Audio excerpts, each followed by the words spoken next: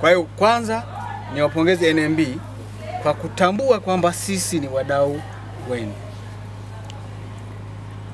lakini niwashukuru NMB kwa kurudisha sehemu ya mapato mnayopata kutokana na wateja wenu kuwagawia wananchi waliowasaidia. Hii inaimarisha mahusiano. Afisa mahusiano unafanya kazi vizuri sana. Humphrey, hongera sana, Asante sana. unachapa kazi Asante sana. na hiyo ndio sasa, hiyo hayo ndio matokeo ya elimu uliyopata ya masoko, ndio elimu uliyopata. Unatengeneza mahusiano mazuri, mnapata, alafu sehemu mnayopata mnarudisha. Sisi tumepata vitu vingi kutoka NMB na natamani sana mabenki yote yaige hapa, kwa sababu ukileta ushindani, mabenki yakija na ushindani, benki lingine imeona na yenyewe inaongeza mara mbili, anayefaidika mwananchi si mnaelewa hiyo eh? Kwa hiyo waige, yani waige. Ninatoa wito kwa mabenki yote yanayonufaika na watu, yanayohudumia watu, watoe sehemu ya mapato eh, kama ambavyo NMB wanatoa kwenye jamii. NMB tulipata changamoto kubwa ya ajali ya moto pale Chifu Kidulili tulikuwa hatuna sehemu wakati ule ya kwenda, lakini NMB imetukomboa, tumepaua ile jengo iliyoungua. Tulipata changamoto kubwa ya vitanda pale ma Manda kwenye kituo cha afya.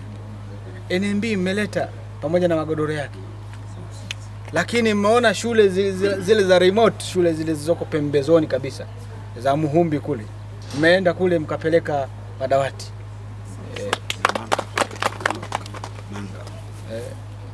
Na Manga kule. Eh. Nimepokea mimi. Yani, leo hii naweza kusema nimepokea leo mara ya nne au ya tano. Sasa mimi nikitoka hapa nitateta kidogo na meneja wa zone. Eh, nina jambo la kuongezea.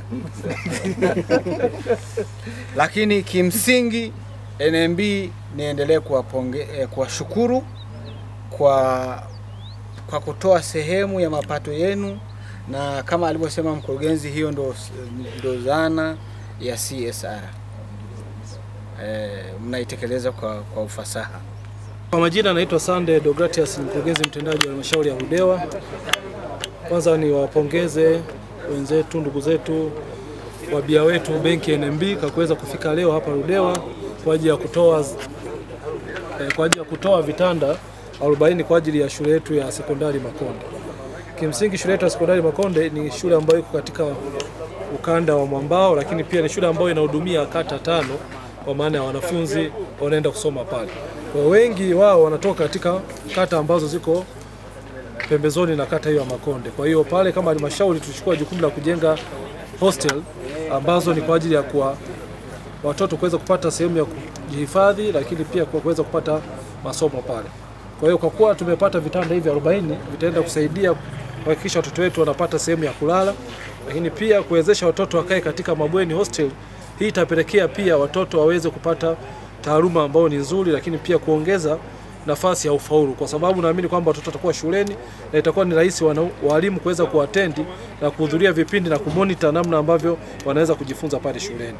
Kwa hiyo mimi niwashukuru sana benki NMB kwa ajili ya vitanda hivi, na kama ambavyo mlivyoshuhudia leo kwamba tumeahidi vitanda hivi vitafika shuleni na tutavitunza kwa maana kwamba katika hali ambayo itakuwa itawezesha viweze vidumu kwa muda mrefu, lakini pia vitaenda kuongeza chachu na motisha kwa ajili ya wanafunzi wetu wa shule sekondari Makonde. Naitwa Straton John Chilongola, ni meneja wa benki NMB kanda ya nyanda za juu. Kanda yetu ya nyanda za juu ina mikoa mitano: mkoa wa Njombe, mkoa wa Iringa, mkoa wa Rukwa, Mbeya, Songwe. Leo hii e, tuko katika mwendelezo wa utoaji wa urudishaji kwa jamii, sehemu ya faida ambayo tunaipata.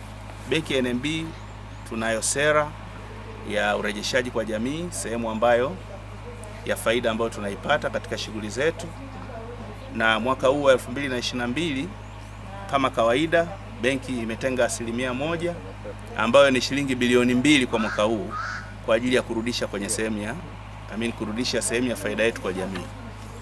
Tuna sectors ambazo sisi tumejikita zaidi kwa ajili hiyo, sekta ya elimu na sekta ya afya. Kwa hiyo kwa miaka mingi sasa, karibu miaka saba, tumekuwa tunafanya hivyo na tumekuwa tunatoa kwenye mashule, tunatoa madawati, tunamalizia upauaji wa madarasa, maabara, lakini tumekuwa pia tunachangia e, vifaa vingine mbalimbali vya maabara pale inapohitajika. Lakini kwenye sekta ya afya pia tumekuwa tunachangia vitanda, vitanda vya wagonjwa mawodini, lakini pia tumekuwa tunachangia vitanda vya e, kujifungulia kina mama.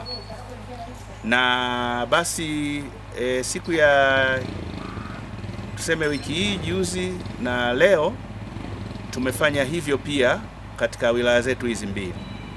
Tumefanya pale Makete na tumeweza kutembelea kituo cha afya kile tulipoombwa na tukaona kweli uhitaji.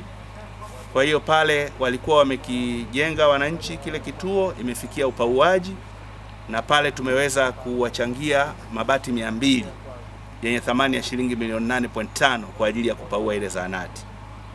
Lakini pia tulikuwa tumepata maombi kutoka e, wilaya ya Ludewa na tulifika kuona shule na tukaona kweli uhitaji ni mkubwa. Ile shule iko ng'ambo ya ziwa, tumeona kweli kuna uhitaji. Kwa hiyo tumeweza kuwapatia vitanda wanaita double decker, vitanda kimoja wawili, na tumewapa vitanda 40 ambavyo kwa pamoja watawala wanafunzi 80 vyenye thamani ya shilingi milioni sita laki tisa na elfu kumi tumevikabidhi e, leo kwa uongozi wa wilaya ya Ludewa na uongozi wa halmashauri ya wilaya ya Ludewa ili viweze kusafirishwa na kukabidhiwa kwenye shule husika. Yeah, kama ilivyo azma ya, ya serikali kuboresha miundombinu ya elimu na afya, sana sana ulipouliza kwenye upande wa elimu, lengo ni kujenga kizazi ambacho ni kizazi endelevu ambacho kinakulia kina katika mazingira rafiki. Benki ya NMB imezindua juzi tu elimu uh, uh, programu inaitwa Nuru Yangu ambayo inalenga katika kuwainua wanafunzi wa Kitanzania ambao wanaishi kwenye mazingira magumu kwa kuwawezesha kuwasomesha ikiwa ni sehemu ya jitihada za kurudisha kwa jamii. Tunawasomesha katika kuanzia elimu ya sekondari, kidato cha tano na chuo kikuu. Kwa lengo ni kujenga kizazi ambacho ni bora zaidi kwa ajili ya kuwatumikia Watanzania wote, na baadaye tunategemea hawa watu watakuja kuwa wateja na wa, pengine watumishi wa benki ya NMB kwa siku za baadaye. Hivi juzi tumepata vitanda 40, tumepata tena NMB vitanda 40, na tunaamini kwamba sasa tumeboresha mazingira, kwa maana sasa tuna mahali wanafunzi watalala, wazazi wanachangia chakula, madarasa tumejengewa na serikali. Tunaamini sasa taaluma ina, inaenda kuwa nzuri, na tunaamini watoto wa kanda ya ziwa wanaokula samaki watafanya vizuri. Changamoto ilikuwa ni tatizo la makazi na kadhalika. Kwa hiyo taaluma yetu itaboreka na tunaamini mwakani tutawapa rekodi kwamba itakuwa kati ya shule bora kabisa za wilaya yetu ya Ludewa na kimkoa. Asante.